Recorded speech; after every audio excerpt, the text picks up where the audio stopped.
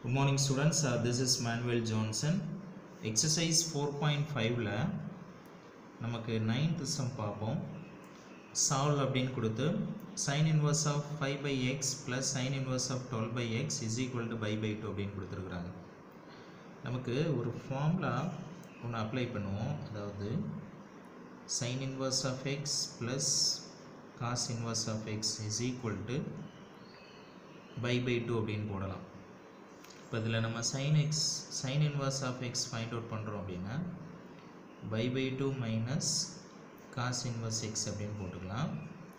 அல்லது cos inverse find out பண்ணுறோம் அப்படின்னா pi by two minus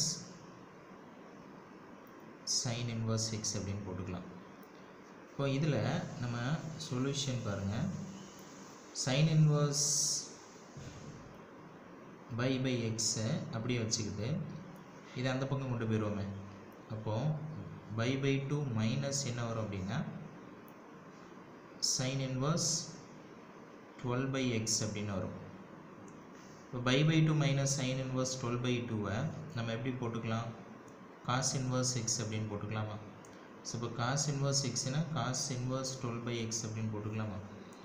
so இப்போ சைன் இன்வர்ஸ் ஃபைவ் பை எக்ஸை இஸ் ஈக்குவல் டு இதுக்கு பதிலாக நம்ம போட்டோம் அப்படின்னா cos inverse twelve by x அப்படின்னு போட்டுக்கலாம்.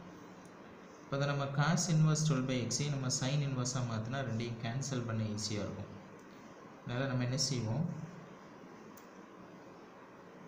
பிதாகரஸ் தீரம் அப்ளை பண்ணுவோம். ட்ரையாங்கிள் கான்செப்ட் எடுத்துக்கிறோம். இது டீட்டா இது ஆப்போசிட் இது அட்ஜஸ்டன்ட் இது ஹைப்போட்டனஸ் இது ஏ இது சி இது பி அப்படின்னா காசோட ரேஷியோ பார்த்தீங்க அப்படின்னா adjacent divided by hypotenuse வரும்.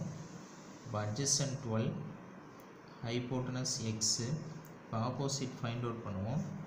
அப்போ இது நமக்கு என்ன வரும் அப்படின்னா AC square is equal to AB square plus BC ஸ்கொயரா அப்போது ஏசி ஸ்கொயர் வந்து x square is equal to AB square வந்து twelve square plus BC square அப்படின்னு வரும். அப்போ x square minus twelve square இங்கிட்டு வந்துடும் is equal to BC square அப்படின்னு போட்டுக்கலாம். இந்த ஸ்கொயர் ரூட் எடுங்க. பிசி இந்த பக்கம் கொண்டு போயிருங்க. அப்போது பிசி இஸ் ஈக்குவல் டு இது ஸ்கொயர் ரூட் எடுத்தால் square root of x square minus hundred and forty four வரும். இப்போ உங்களுக்கு square root of x square minus hundred and forty four வருதா?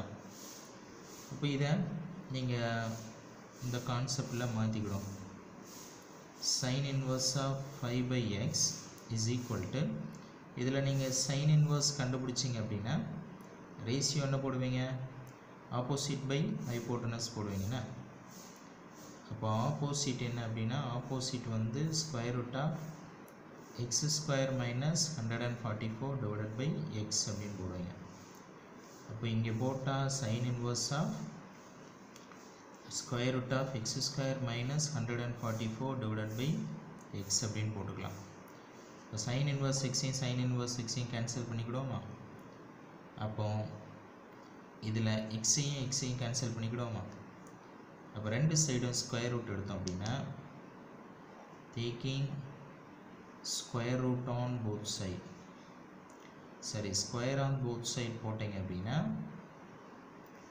ஃபைவ் ஸ்கொயர் பண்ணிங்க அப்படின்னா டுவெண்ட்டி ஃபைவ் வரும். இதை ஸ்கொயர் எடுத்திங்கன்னா ஸ்கொயர் ரூட் கேன்சல் ஆயிரும். அப்போ x square is equal to hundred and forty four வரும். ஒரே பக்கம் கொண்டு வந்தீங்கன்னா எக்ஸ் ஸ்கொயர் இது அந்த பக்கம் வரும்போது minus hundred and forty four minus twenty five is equal to zero அப்படின்னு வரும். இப்போ x square is equal to இது எல்லாத்தையும் அங்கே ஆட் பண்ணி கொண்டு போயிருங்களேன். ஒன் சிக்ஸ்டி நைன் வரும். அப்போ x is equal to plus or minus one sixty நைனுக்கு கண்டுபிடிச்சிங்கன்னா ப்ளஸ் தேர்ட்டீன் மைனஸ் தேர்ட்டீன் வரும். மைனஸ் தேர்ட்டீன்கிறது டிஸ்டன்ஸில் நம்ம என்ன செய்ய முடியாது? எடுத்துக்கிட முடியாது. சரிங்களா? ஸோ இப்போ x equal to plus thirteen தான் போட்டுக்கிட முடியும். ஸோ இப்போ இதுதான் சொல்யூஷன் சரிங்களா? இப்போ செகண்டு